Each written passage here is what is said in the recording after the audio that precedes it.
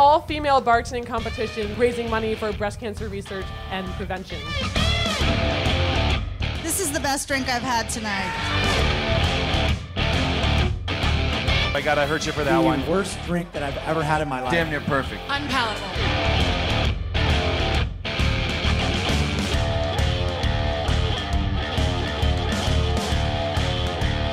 Fast. Liquid Ninja.